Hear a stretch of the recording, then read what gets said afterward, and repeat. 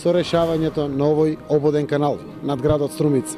Се зафаќаат водите кои што представува огромен проблем на граѓаните и го чувствуваа и од овој горен дел, улицата Бетовенова, Бошко Буха, Славчо Стојменски, 5 ноември и сите други улици, но и улицата Младинска, Атанас Караман, Браке Минкови и сите други улици во долниот дел на градот.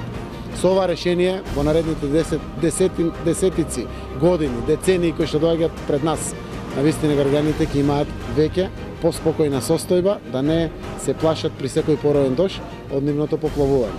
Дозволете да дадам детали за самата инвестиција. Купниот проект е финансиран од буџетот на општина Струмица е во вредност од 36 милиона и 500 илјади денари или 600 илјади евра. Се работи за ободен канал кој што решава дел од пороите над градот Струмица. Градот Струмица е опфатен со неколку поројни канали, Светилискиот порој, поројот Коритниче, поројот 1, 2, 3, 4 и 5. Светилискиот порој се слива преку е, одводот кој што постои на е, источна на западната страна на градот Струмица и оди во река Водоча.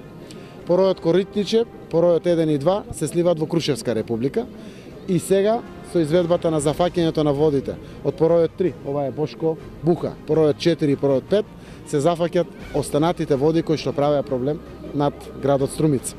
Со изведбата на целиот овој канал започневме со изливната градба кој што се наоѓа на реката Тракајна, каде што истекуваат сите овие води.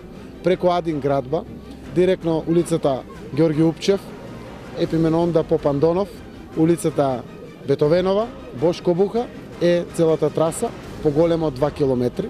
Изградени се брани на трите порои, 3, 4 и 5, и со тоа е целокупно заокружена инвестицијата на поројот.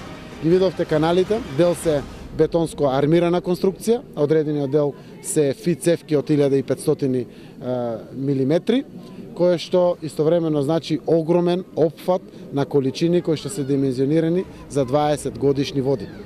Со тоа, навистина решаваме едно крупно прашање, со негово трајно решавање, кое што навистина задираше или допираше до интересот на граѓаните некаде околу 30% жители на градот Струмица. Паралелно со изведбата на целиот овој проект, на улицата Бетовенова, на улицата Бошко Буха е изградена фекална канализација, изградена атмосферска канализација, пуштени се нови водоводни цевки, направени се приклучоци на некаде околу 200 семејства во целиот тој дел, санирани се тротоарите, урбано се уредени и деловите како што е ова каче на која што ја даваме изјавата, одредени парковски површини, хортикултурно уредување, канделабри, за да можеме ова субстандардно живење кое што беше во турското мало во градот Струмица да го оплемениме и да го направиме поприродно, поедноставно, поспокојно и поубаво место за живење на граѓаните од турска националност. Продолжуваме секако понатаму и со инвестициите. Согласно првите поројни дождови ќе ги оцениме и првите ефекти од изведбата на овој огромен проект – кој што истовремено ќе ни даде дали треба уште на одредени места пред се во долниот дел на градот да имаме дополнителни интервенции.